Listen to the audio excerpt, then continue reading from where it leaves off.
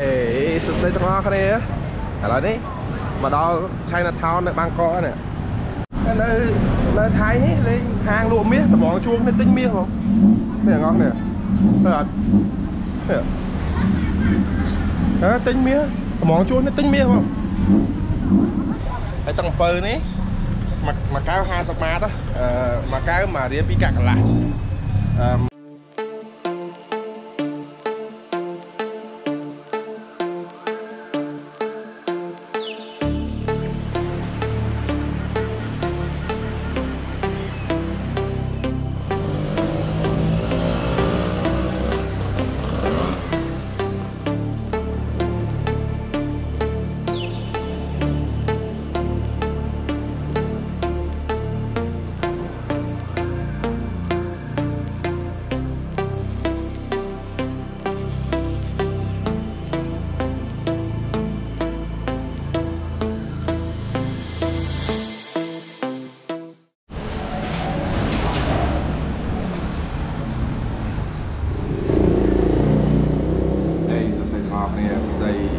ធីមរ៉ាទាំងអស់គ្នា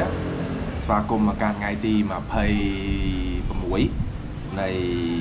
ដំណើរកំសាន្តផ្សងព្រេងជិះម៉ូតូពីភ្នំពេញទៅសិង្ហបុរីពីសិង្ហបុរីទៅទៅភ្នំពេញវិញឥឡូវនេះថ្ងៃទី26ហើយទាំងអស់គ្នាថ្ងៃស្អែកគឺអឺខ្ញុំចេញពីបាងកកនេះអឺទៅប៉ាតាយាមកយប់បន្ទាប់មកថ្ងៃខាងស្អែកពីប៉ាតាយាទៅសៀមរាបបន្ទាប់មកទៀតគឺបញ្ចប់ពីសៀមរាបទៅកាន់អឺភ្នំពេញ ឥឡូវហ្នឹងមកដល់ថ្ងៃនេះគឺអឺខ្វះ30គីឡូទៀតគឺខ្ញុំជិះបាន6000គីឡូហើយអញ្ចឹងតម្រាំតែដល់ផ្ទះគឺប្រហែលជា7000 7000គីឡូល្មមហ្មងឬក៏6000ក្រាស់និយាយទៅដោយការប៉ាន់ស្មានរបស់ខ្ញុំដែរហើយ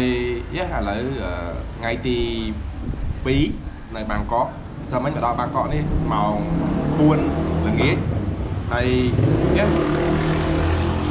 ហើយបន្តមកទៀតគឺប្អូនខ្ញុំហើយនឹងអឺពួកម៉ាក់គាត់ម្នាក់ទៀតគឺគាត់ជិះពីភ្នំពេញមកបាងកកនេះហ្មងដើម្បីអឺមកជិះប្រហែលថ្ងៃចុងក្រោយនេះជាមួយខ្ញុំអឺគាត់ surprise ខ្ញុំហ្នឹងណាគាត់ជិះមកពីភ្នំពេញមកដល់បាងកកគាត់ជិះ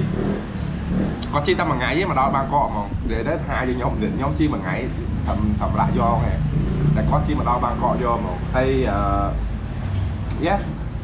ហើយឥឡូវនេះគឺខ្ញុំមានគ្នា3 4នាក់សិតខ្មែរខ្មែរហើយខ្ញុំគេងនៅកន្លែងហូតែលនេះឈ្មោះថា BU Place BU Place នេះគឺហូតែលគឺបន្ទប់មកអាថោកហ្មងចាំខ្ញុំបង្ហាញបន្ទប់តិចទៀតអឺចាំខ្ញុំទៅបាក់ថតបន្ទប់បង្ហាញ38ដុល្លារបន្ទប់មួយយប់តែมันបន្ទប់ធំខ្លាំងមែនតើហ្មងនិយាយទៅមានបន្ទប់ទទួលភ្ញៀវហើយមានបន្ទប់គេងផ្សេងទៀតនិយាយទៅมันគួរឲ្យជឿបើប្រៀបធៀបតម្លៃជាមួយនឹងភូកេតហើយនឹងប្រៀបធៀបតម្លៃជាមួយម៉ាឡេគឺមិនគួរឲ្យជឿហ្មង ហើយយ៉ាអញ្ចឹងនៅនេះវាច្រើនខ្មែរមកច្រើនមែនតើខ្មែរមកគេងនៅនេះច្រើនមែនតើដោយសារអីវាថោកហើយវានៅក្បែរក្រុងហើយវាមានកន្លែងញ៉ាំអីច្រើនណាឥឡូវនេះខ្ញុំកំពុងអង្គុយញ៉ាំអីនេះហៅបានអឺហៅបានបាយឆាតុងយ៉ាំគ្រឿងសមុទ្រមួយចានហើយប៉ុបស៊ីមកកំប៉ុងហើយចេញពីនេះបានខ្ញុំទៅញ៉ាំកាហ្វេចេញពីនេះទៅបានខ្ញុំទៅញ៉ាំកាហ្វេព្រោះឥឡូវមកត្រឹមតែ 11ទេម៉ោងត្រឹម11ប្រាប់ទេអឺកាហ្វេហើយបានអឺអង្គុយធ្វើការតិចអឺហើយដើររកទិញអឺឆ្នាំងសាកណាដើររកទិញឆ្នាំងសាកដុំសាកអីមកវិញព្រោះបាត់អស់លេង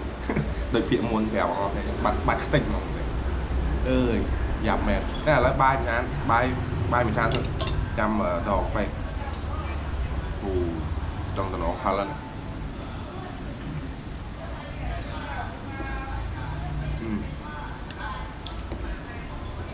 Ờ, ok.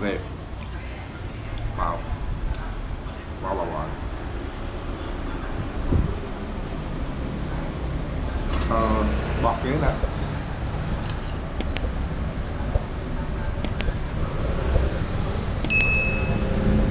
អេសួស្តីទាំងអស់គ្នាឥឡូវនេះមកដល់ China Town នៅបាងកកនេះ China Town នៅបាងកកនេះហេហេ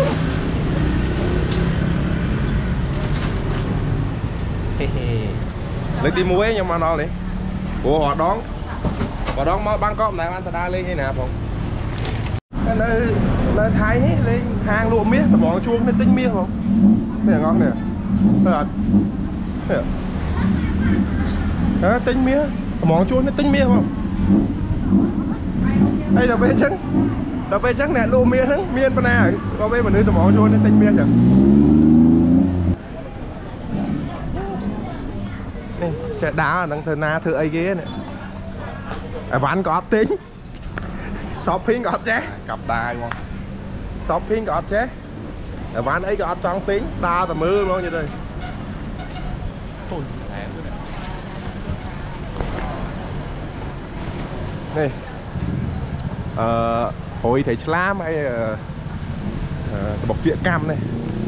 តែគេខ្លះនេះនេះដើរអត់មើលគេរុញតែបុកបាក់ជើងឡោះ អូខេបងប្អូនគ្នាឥឡូវនេះគឺព្រោះអីញ៉ាំឃើញហ្នឹងនេះអឺនេះជាលក់ស៊ុបមួយគ្រឿងក្នុងជ្រូកមីកាទៀវគេសសនេះនេះនេះអត់មានកាទៀវទេទេអត់មានទេនេះមានតែសាច់សុតហ្មងស៊ីសាច់លេងវាអត់មានទឹកជ្រលក់ទេនៅនេះវាវាប្រើតែទឹកត្រីណានេះស៊ីគ្រឿងក្នុងលេង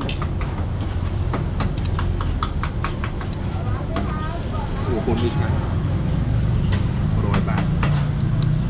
ងស់នេះអឺមួយចាននេះ100បាត12003រៀលឬ100បាត100បាតដូចថោកហ្នឹងមិនមែនមិនមែនថោកថោកទេបាទ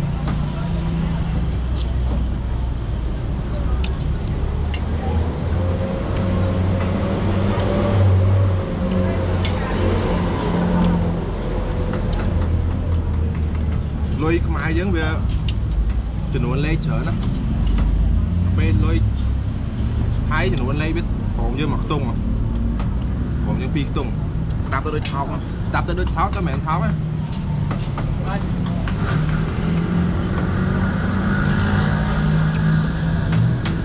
មួយដុល្លារតា30បាតជាងមួយដុល្លារណា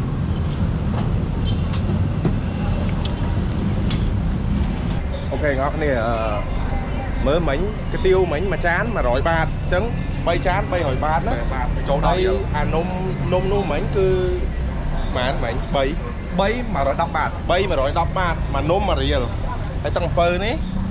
មួយមួយកែវ50បាតណាអឺមួយកែវមួយរៀល2កាក់កន្លះអឺមួយកែវ5000ហើយនៅនៅស្រុកខ្មែរយើងទាំងបើអត់លើពី2000ទេក្នុងមួយកែវនេះហើយលក់ចេះណាមិនមែនមិនហាងណាលក់ចេះណា ហើយអាហ្នឹងគឺតម្លៃនៅ China Town នេះថ្លៃណាមើលដើរមិញដើរគាត់ដើរលេងលេងមិញដាច់20រៀលណា20រៀល20រៀល20រៀល100000 25រៀលណាដល់អស់100000ណាផ្លែណា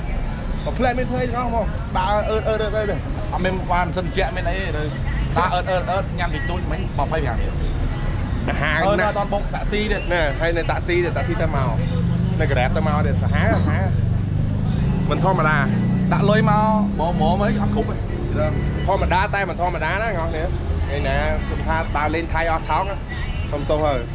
ហេសរសេរទាំងអស់គ្នាអឺយ៉ាឥឡូវបាយល្ងាចអឺជុំគ្នាជាមួយបងប្អូនយើងអ្នកមកពីរួមជាតិណារួមជាតិមិត្តរួមជាតិបើថាជួបគ្នាបើមិនតបែទៅចម្លែកយប់យប់មិញទាំងអស់គ្នាគឺទៅដល់ហូតែលវិញគឺខ្ញុំ បាត់ការចងចាំអត់ដឹងថាម៉ោងប៉ុន្មានអត់ដឹងថានិយាយទៅអាយប់ហ្នឹងអត់ដឹងថាថតរូបថតអីទៀតតែទៅពេលបាក់ឡើងចេញរូបថតខ្ញុំពេញហ្នឹងតែក្នុងទូរស័ព្ទមានរូបផ្លែផ្លែម្ដងហើយអឺជីឡាឥឡូវអត់ដឹងថាយប់ហ្នឹងធ្វើអីទៅណាទេតែនេះអ្នកនាំអាតអ្នកនាំអាតកាយកាយយប់នេះកាយកាយកាយអត់ដឹងទេខ្ញុំខ្ញុំដើរតាមកាយយប់នេះកាយកាយនេះពពួកសុតហ្មងកាយនេះនៅតែពពួកសុតហ្មងចោលហើយតែកាយអត់ ដឹងទេខ្ញុំយប់នេះអត់ដឹងទេដឹងមានតែខ្លួននោះបាត់ការចងចាំទៅយប់មិញទៀតសង្ស័យ